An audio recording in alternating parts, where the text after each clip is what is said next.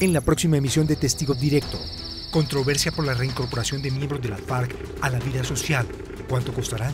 75 mil millones de pesos. ¿Quién pagará? Se están espremiando. ¿Empresarios los contratarán? Un daño por un lado para tratar de hacer un beneficio por el otro. Conozca a estas chicas que ganan hasta 20 millones de pesos en poco tiempo de trabajo y solo por comer pizza, jugar con los pies o ponerse los panties en la cabeza.